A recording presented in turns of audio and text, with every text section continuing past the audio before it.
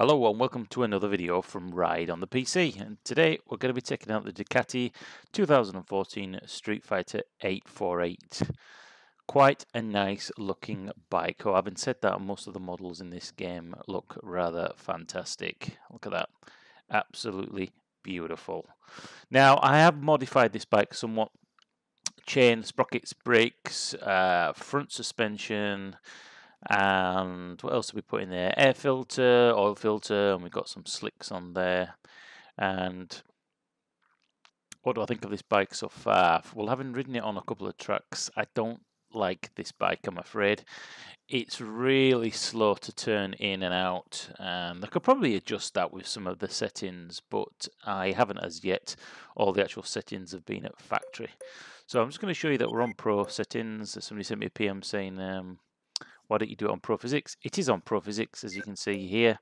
And we're going to go straight in and have a look at a race on Wales. First time I've ridden this track. So let's get in and see what it's like. From looking at the map, straight onto the bike. No, There's no other view apart from this. Let's get down here and see what we think. There seems to be some nice long winding sections on this, or should I say where you can get your, uh, your wrist down and get some speed up.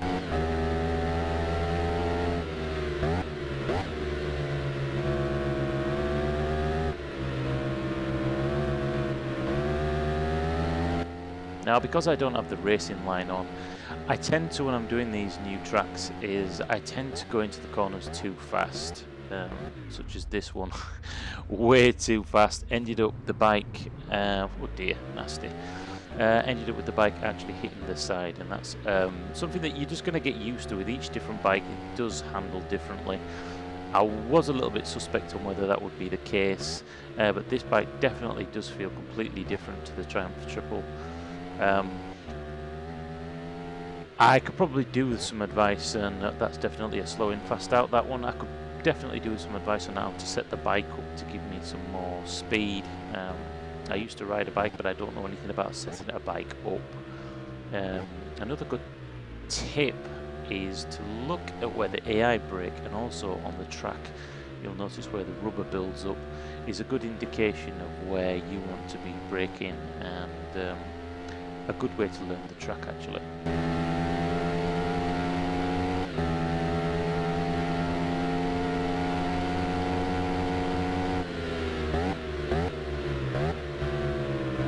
Almost, almost got a tank slapper there.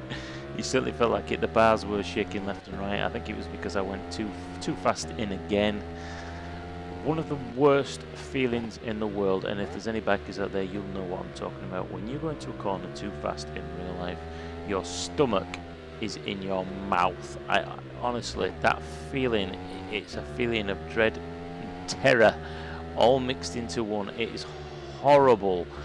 Uh, I experienced that a few times on my bike before I had my bike accident, and uh, it's awful. The worst feeling in the world, thinking. Um, you're not going to make it. So you put your brakes on. Of course, with a bike, it's the worst thing to do when you you don't want to brake when you go around a corner.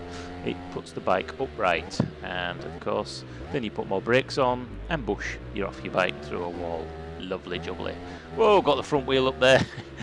I don't know whether this game uh, the physics-wise actually represents tank slappers, but that would have been a perfect term for a tank slapper. There's no damper on the handlebars. Yeah.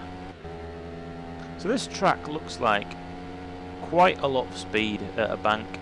Um, a few turns at the end. It's basically one big one big angle.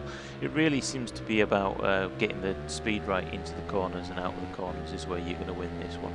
And the more laps I do, I'm sure I'm going to get up. Especially at, at the there seems to be some sort of a um, a left right left right as we come further up and I'm sure you know with the right entry speed you're going to absolutely fly around there uh, but yeah, let's just bomb on. This is our last lap. If there's any particular track you want me to look at, I'm actually really enjoying the game. Having spent a lot more time with it now, I can honestly say the worst thing about this game is the audio.